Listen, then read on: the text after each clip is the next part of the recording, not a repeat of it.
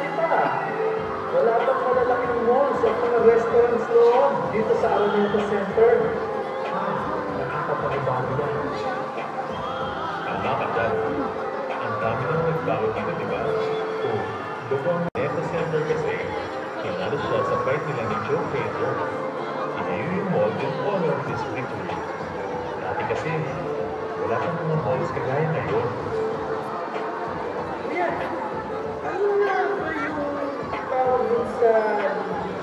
Laban nila? Sikat na sikat na